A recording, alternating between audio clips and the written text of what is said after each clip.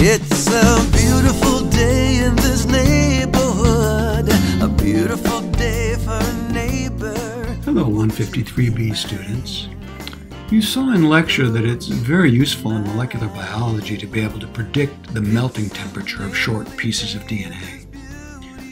For example, as we saw, PCR works best if we carry out the annealing step at just a few degrees below the melting temperature of the primers, and so we need to be able to calculate those melting temperatures. But we also saw that the Marmur-Doty method does a terrible job of predicting the melting temperature of short DNA molecules. So we need a better method. The purpose of this video is to describe such a method, called the nearest neighbor method, uh, which is the approach that has been routinely used for at least the last 30 years or so to calculate melting temperature of short pieces of DNA, such as PCR primers. Before I describe this method, I want to remind you of these two equations for calculating free energy changes. Recall that spontaneous reactions always reduce the free energy of a system, and that a system achieves equilibrium by minimizing its free energy. So when we calculate melting temperature, what we're really doing is calculating the temperature below which the free energy change for duplex formation will be a negative number. These two equations will help us to do that calculation. The first relates free energy change to the enthalpy and entropy changes of a system, while the second relates the free energy under standard conditions to the equilibrium constant. The nearest neighbor approach for calculating the melting temperature of DNA involves two steps. First, we calculate the enthalpy and entropy of duplex formation for a segment of DNA of known sequence. As you'll be seeing, the calculation takes nearest neighbor uh, interactions into account. This is different from the Marmur-Doty method since to apply the Marmur-Doty equation, you only need to know what fraction of the base pairs are GC base pairs. For the nearest neighbor method, you need to know each base pair's nearest neighbors. In other words, for each base pair, you need, to, you need to know the identity of the adjacent base pairs. And the only way you're going to know that is if you know the sequence of the DNA. Then once we have these enthalpy and entropy values, we need to plug them into an equation for Tm and evaluate the equation. So we're going to have to derive an equation, and when we do that, we'll see that the equation is analogous to the equation relating the melting temperature of a pure substance such as water to the enthalpy and entropy of fusion. Since delta G equals delta H minus T delta S, it follows that delta G for the conversion of ice to water at the melting temperature is given by the equation uh, delta G fusion equals delta H fusion minus the Tm times delta S fusion. Recall that the Tm for a phase transition is the temperature at which the two phases are equally stable. Therefore, we can set the equation equal to zero. Then, by solving for Tm, we can show that uh, Tm equals delta H fusion divided by delta S fusion. So we're going to be deriving an equation for DNA melting temperature, which, which is analogous to this one, except, uh, as we'll see, DNA melting temperature depends on the DNA concentration, and so we're going to end up with an equation that includes a concentration term. So here's the procedure that we'll be using to calculate the free energy, enthalpy, and entropy of helix formation. Imagine that we have two three nucleotide long pieces of single stranded DNA that are complementary to one another. how are we going to calculate the free energy, enthalpy, and entropy changes for forming the duplex from these two pieces of single-stranded DNA? Well, the calculation depends upon the fact that enthalpy, entropy, and free energy are all state functions. That means that the change in these properties in going from one state to another is independent of the path taken. So if we can break the process of duplex formation into a series of discrete steps for which we know uh, the values of the state functions for the individual steps, then we can just add the values for the individual steps together to get the change in the state function for the overall process of duplex formation. In this example, we've broken this process up into three steps. We start out in step one by forming the base pair on the left, which in this example is a TA base pair. And then we proceed to form one base pair at a time going from left to right. So in step two, we form the central base pair, which happens to be an AT base pair. And in step three, we form the base pair on the right, which is a GC base pair. So if we can calculate the values of these state functions for these three steps, we can just add them together to get the values of the state functions for the formation of this three base pair duplex. As you'll see soon, uh, these values for the individual steps are something that we can look up in the scientific literature. And so using those literature values, we can calculate the free energy, enthalpy, and entropy of helix formation. This is, of course, just one of multiple pathways we could have chosen. For example, we could assume that uh, the base pair in the center form first, followed by the base pair on the right, uh, and then the base pair on the left. No matter which of these pathways we chose, if we uh, added up the values for the changes in these parameters for the individual steps, we would discover that they always sum up to the same value, owing to the fact that these are state functions. So delta G1 prime, delta G2 prime, and delta G3 prime uh, will be different from delta G1, delta G2, and delta G3, but their sums will be the same.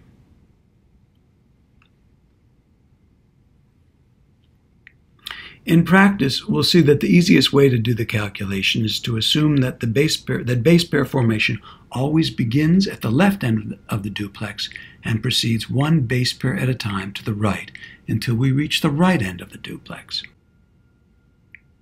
So where do we get the values for the changes in free energy, enthalpy, and entropy that accompany each of these steps?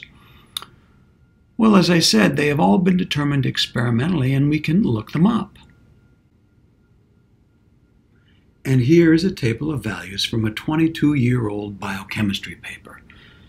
The first 10 rows of the table show all the so-called nearest neighbor interactions. For example, this row of the table gives the standard free energy, enthalpy, and entropy changes for forming a TA base pair next to, a, to an AT base pair. The base pair on the right is the one that is forming, and we call that one base pair J and the base pair immediately to its left is called base pair I. So each of these rows uh, tells us the free energy, enthalpy, and entropy change for forming a base pair of type J next to a base pair of type I. Given that there are four types of base pairs, this means that there are 4 times 4, or 16 different possible nearest neighbor interactions. But it actually turns out that there are a number of equivalent pairs of interactions.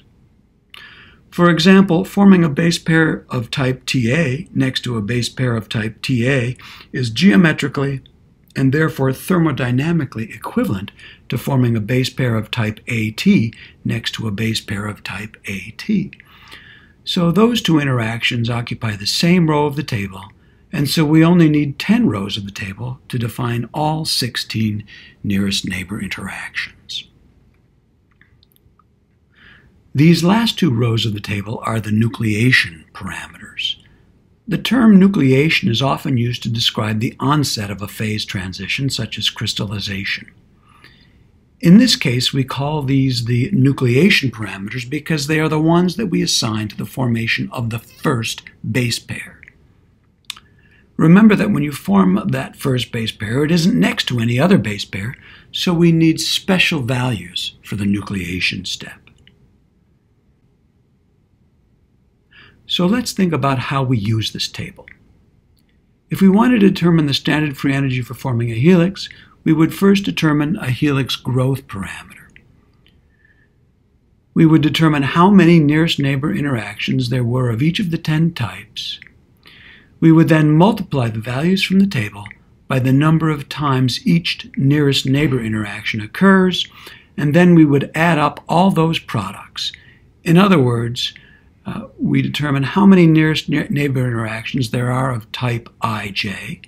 Then we multiply that number by the free energy value from row ij of the table, and then sum up over all the possible values of ij. To that, we have to add the free energy of the nucleation step, uh, one of the values from the last two rows of the table.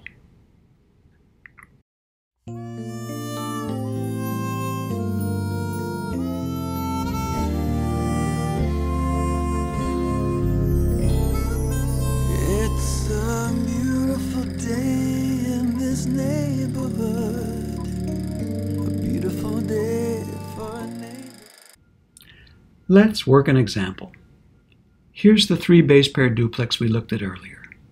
The procedure I'm going to describe to you is easiest to use if we write out the sequences of the two strands as I've done here, with the top strand in the 5' to 3' direction, and the bottom strand in the 3' to 5' direction. Then we choose the pathway in which base pair formation starts on the left and the duplex grows one base pair at a time from left to right.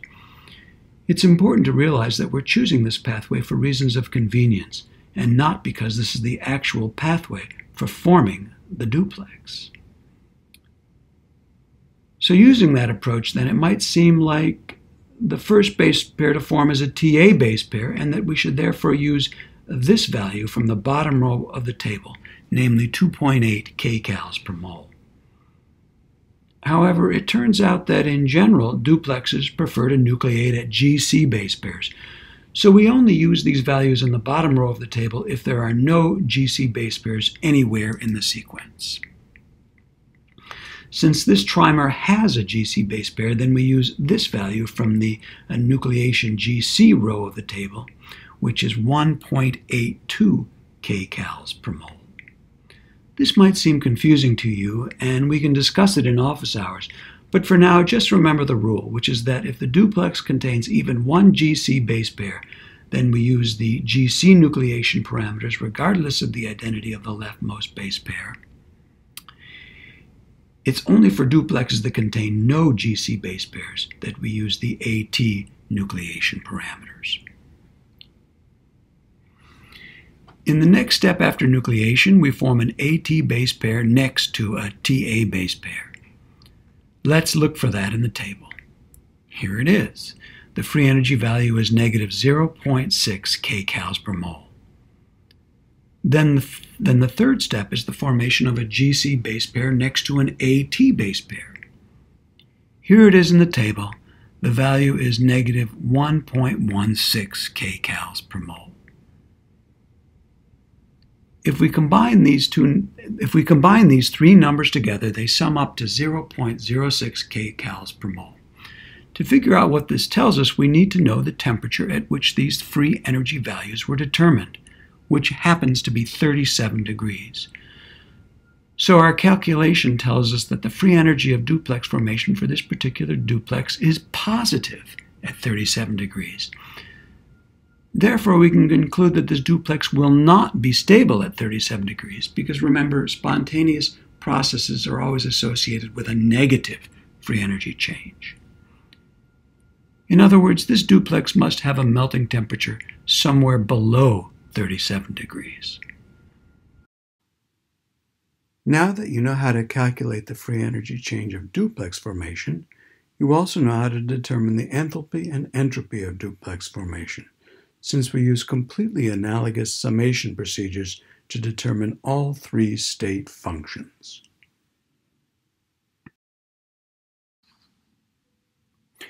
The next step is to derive an equation for Tm into which we can plug these enthalpy and entropy values. We'll assume that we have two distinguishable complementary strands, S1 and S2, that associate with one another to form a DNA duplex. We can start by writing out an equation for the standard free energy of helix formation at the Tm. It's equal to the negative of the gas constant times Tm times the natural log of the equilibrium constant for this reaction. It's also equal to the standard enthalpy change for helix formation minus the Tm times the standard entropy change of helix formation. Next, we can solve this equation for Tm, and this is what we get. So if we can evaluate this equation, we can determine the Tm. You now know how to calculate these enthalpy and entropy values for any given duplex. But what you don't yet know is how to determine this equilibrium constant. To do that, we need an expression for K in terms of DNA concentration. C sub T is the total concentration of DNA strands, and it equals the concentration of strand 1 plus the concentration of strand 2 plus 2 times the concentration of the duplex.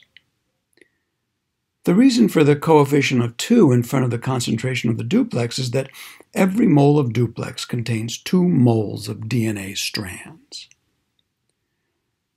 Since we're at the Tm, then we also know that the concentration of strand 1 plus the concentration of strand 2 is equal to 2 times the concentration of the duplex. Why is that? Well, remember how we determined Tm. To determine Tm, we measure the absorbance of UV radiation as a function of temperature.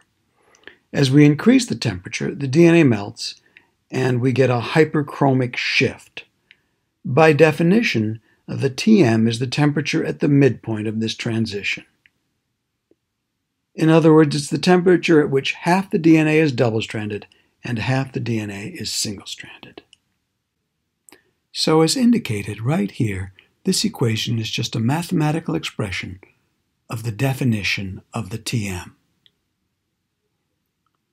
Finally, we need to make an assumption about the relative concentrations of strand 1 and strand 2. And for this derivation, we're going to assume that we have equal concentrations of the two strands.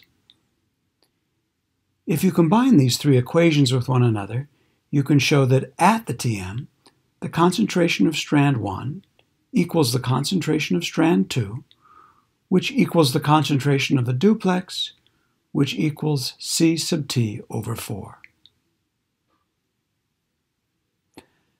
The equilibrium constant for this reaction at the Tm is therefore just C sub t over 4 divided by C sub t over 4 squared, which equals 4 over C sub t. When we plug 4 over c sub t into this equation for k, this is what we get. The Tm equals the standard enthalpy of helix formation divided by the standard entropy of helix formation plus r times the logarithm of c sub t divided by 4. So the Tm depends on concentration, which is exactly what we expect based on Le Chatelier's principle. Before I go on, I just want to mention that the equation I just derived is for the case where the two DNA strands are distinct from one another. Sometimes, however, a DNA strand has the same sequence as its complement, and the resulting duplex has twofold symmetry. Here's an example of such a duplex in which both strands read GGA TCC in the 5' to 3' direction. So the top strand is GGA TCC, reading from left to right, and the bottom strand is GGA TCC, reading from right to left. If we derive the formula for the TM of a duplex that forms from a self-complementary strand, we see that the result is slightly different from the formula for the TM of a duplex containing two distinguishable strands. In particular, we have to add a symmetry correction to the entropy of helix formation.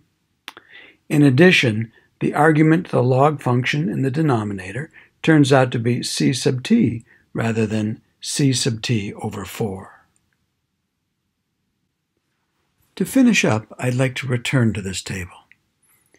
A little while ago, I indicated that these values were determined experimentally.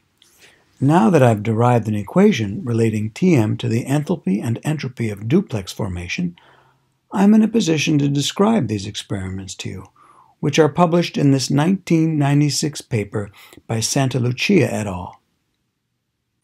Here's the equation that gives the Tm uh, when we have two distinguishable strands and here's the equation that gives the Tm when we have one self-complementary strand.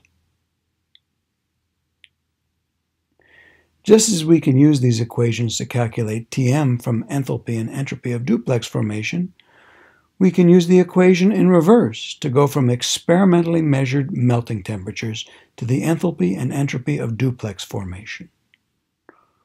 One convenient way to do this is to take the reciprocal of both sides of the equation. When we do that, we get these two relationships.